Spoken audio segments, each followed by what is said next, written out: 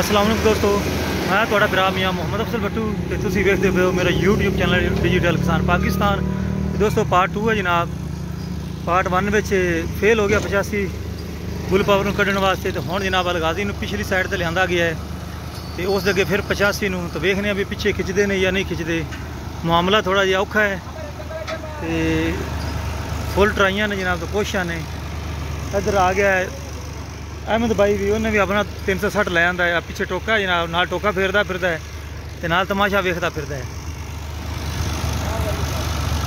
ਤੇ ਮੁਹੰਮਦ ਅਹਿਮਦ ਬਾਈ ਨਿਕਲ ਜਾਵੇਗਾ। ਉਮੀਦ ਬੜੀ ਹੈ। ਚਲੋ ਵੇਖਨੇ ਆ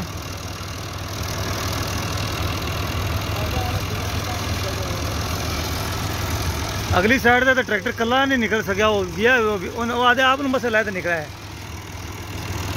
ਹਾਲਾਂਕਿ ਪਿਛਲੇ ਪਹਿਲੇ ਜਿਹੜਾ ਟਰੈਕਟਰ ਉੱਪਰ ਖੜਾ ਸੀ ਤੇ ਨਿਕਲ ਸਕਦਾ ਸੀ।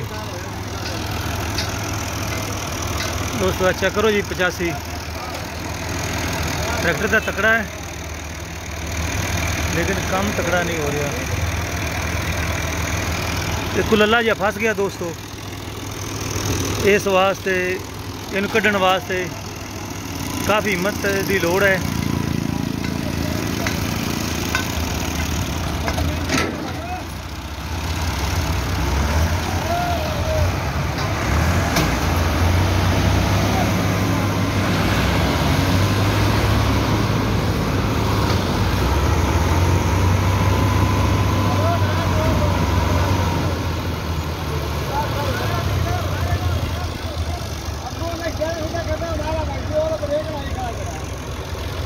ਉਹਦਾ ਪਤਾ ਕਰੋ ਬ੍ਰੇਕ ਤਾਂ ਨਹੀਂ ਲੱਗੀ ਹੋਈ।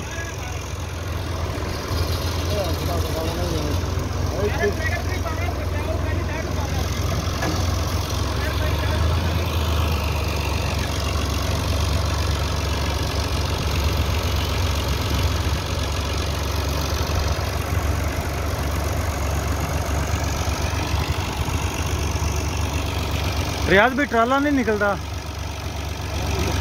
ਟਰਾਲਾ ਕੱਲਾ ਵਿੱਚੋਂ ਨਿਕਲ ਜਾਵੇ ਤਾਂ ਫਿਰ ਆਸਾਨੀ ਹੋ ਜਾਵੇ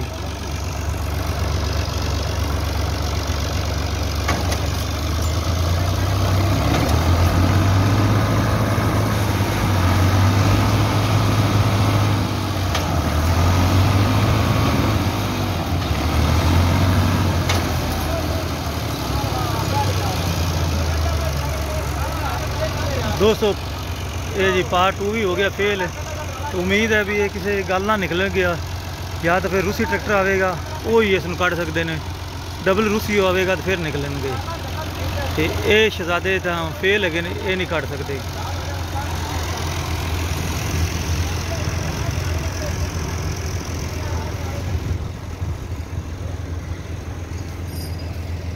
ਅੱਛਾ ਕਰ ਲਓ ਦੋਸਤੋ